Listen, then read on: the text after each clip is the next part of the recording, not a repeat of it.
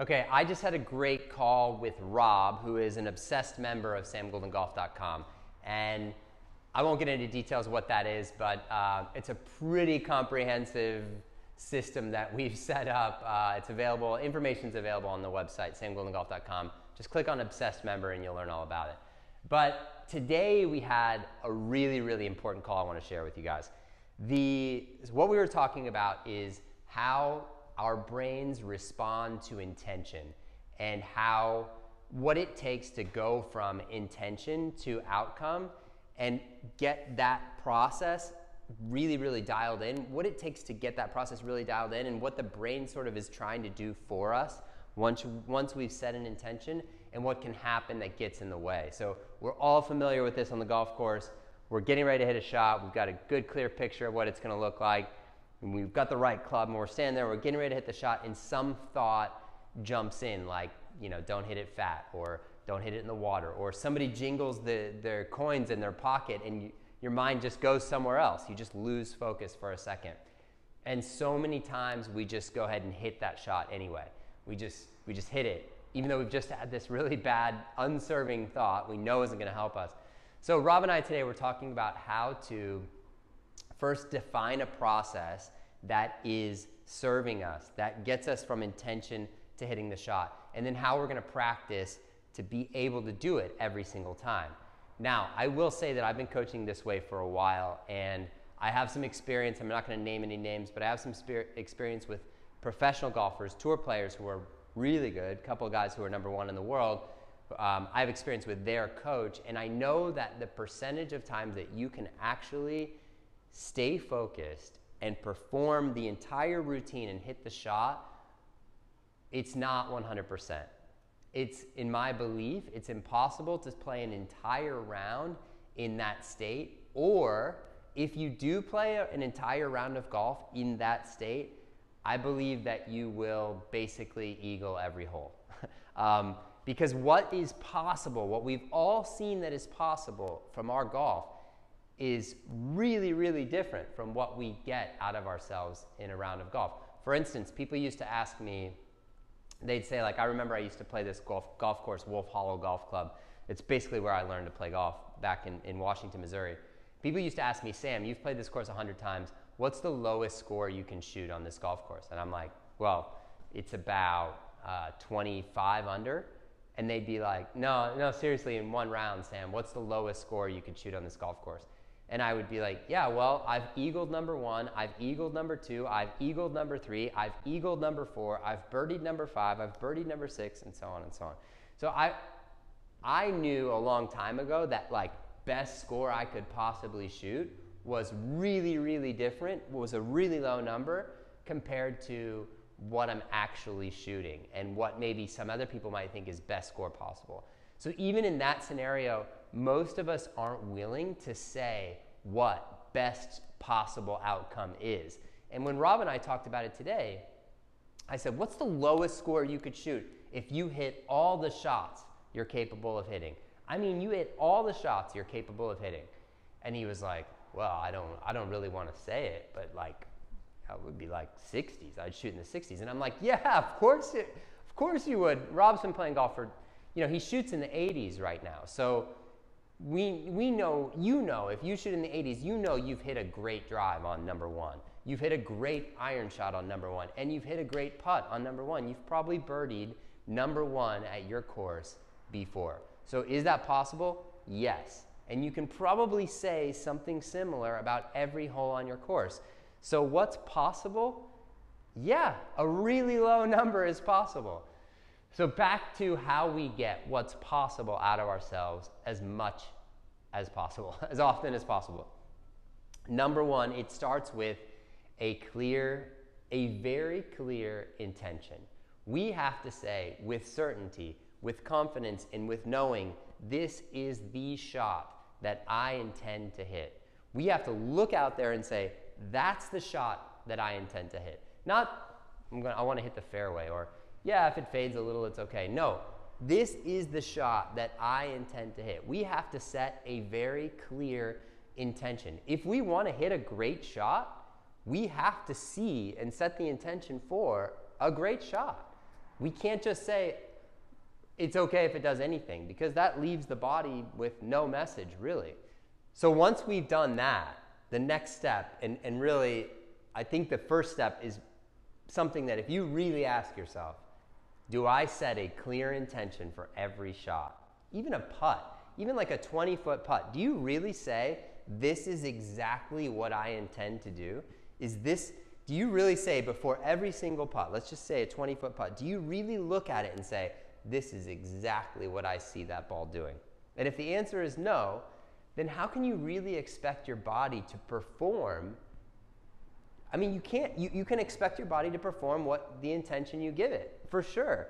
So if you don't give it a clear intention, then you can expect your body to not give you a clear outcome. It could be very varied. So, number one, setting the clear intention. This is ultimate, most important thing before you even consider anything else. You have to set a clear intention. Number two, you have to say to yourself, what will produce that intention? What, and this is where it, there's a lot of room of variability here. Some people, they, they see a shot or they have an intention of a shot, and then they just get up there and they go, Yep, I can feel it. I can feel that shot. Other people need to make a few practice swings. They need to say, Okay, yeah, okay, that's what it would feel like. Okay, feel just like that. Okay, I've got it. And then they're ready to go.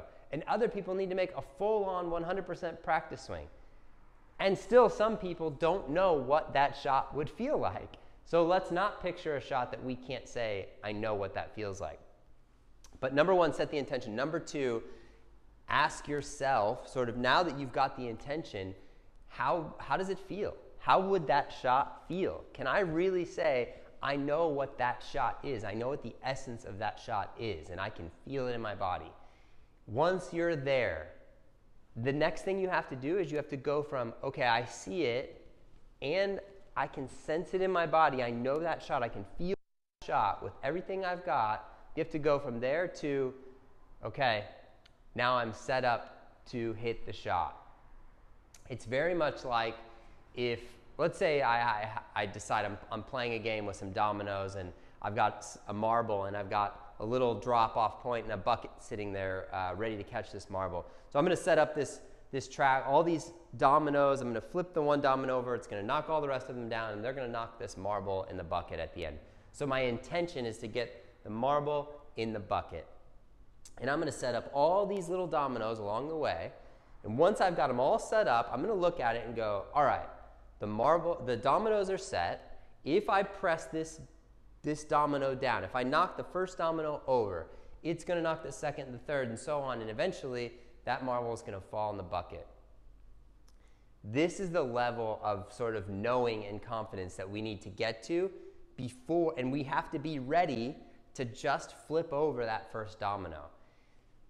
So, from setting the intention, the marble needs to fall in the bucket, I want to hit this shot, to what does that look like? What does that, how, how does that happen? How can I know for sure what that is? That's the feeling in the golf swing or setting up all the dominoes and looking at it and going, that's it. If I do this, then I'm going to get that outcome.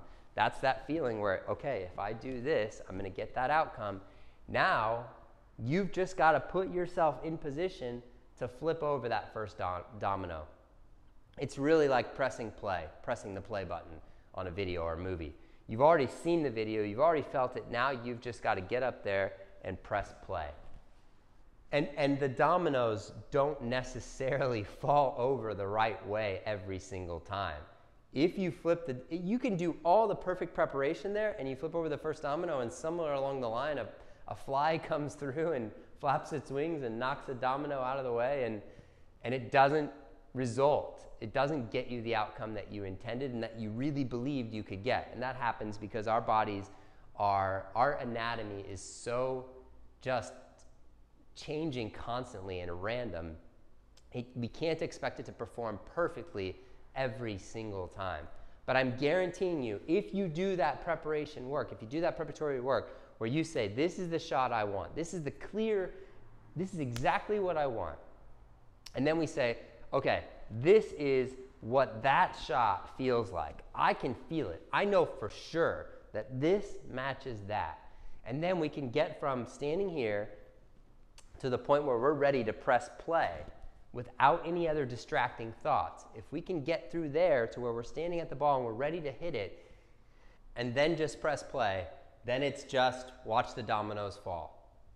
And like I said, sometimes the dominoes won't fall, but I guarantee you, you will be blown away at how accurately your shots will match your picture if you can do that process. If you have any outcome that you desire, number one, make it a very clear intention. Number two, lay the groundwork. Set up the dominoes, feel it in your body so that you know if you press play or you knock over that first domino, you know you can expect this outcome. This is what you really believe is going to happen. So that's the getting the feeling for it. I see it, now I can feel it in my body. I know this is the feeling that produces or matches that shot. And then finally, just press play. Just literally take that feeling, take that picture, get your body in a position to press play. If you do that and you can get through that routine, I'm guaranteeing you you'll have better results. Here's what you can expect to see. In with everyone I've worked with, about a little, a little over 10% of the time, they're capable of producing these results, meaning getting through a routine without distractions. It's about 10% of the time when you first start, and it ups to about 40%. So let's say you were going to hit 50 balls uh, today. You could expect to get through five really, really good routines today with this new focus. And then if you were to do this every week, let's say you were going to do this three times a week for a month, at the end of the month, you could expect to get somewhere around between 30 and 40% of your, of your routines where you really stay focused and don't get distracted and hit your shots, about 30 to 40%. And I can tell you that if you're, uh, if you're shooting 85, the difference between none, where you're really not clearly focused and you're not setting intentions and you're not going through this routine, the difference from that to you're getting through the routine 30 or 40% of the time, if you're shooting 85, the difference is probably 10 shots. And that's with every shot in the bag. If you're going through every single shot with these really clear intentions and staying really clearly focused, it's probably the difference between 85 and 75. I, am challenging you take one month to focus on this. Take one month out of your entire golf life this is a small, small percentage of your entire golf life. Take one month to take my word for it that this could have a profound, insane effect on your golf scores and just try it. Really, what do you have to lose? In, you've been playing golf for, most of you guys have been playing golf for 20 years or more.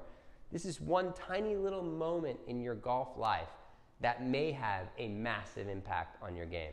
So, give it a try.